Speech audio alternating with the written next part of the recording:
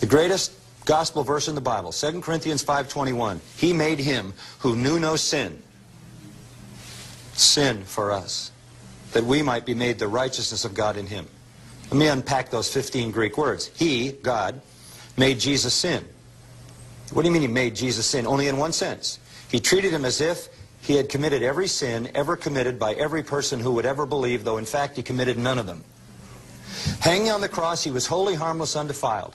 Hanging on the cross, he was a spotless lamb. He was never for a split second a sinner. He is holy God on the cross. But God is treating him, I'll put it more practically, as if he lived my life. God punished Jesus for my sin, turns right around and treats me as if I lived his life. That's the great doctrine of substitution.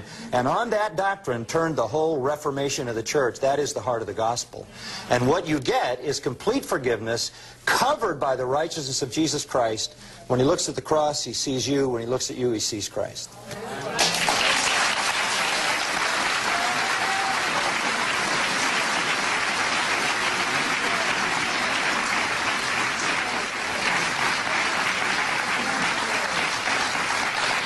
If there is one thing in my life I want to make sure I understand, that's it. It is the gospel.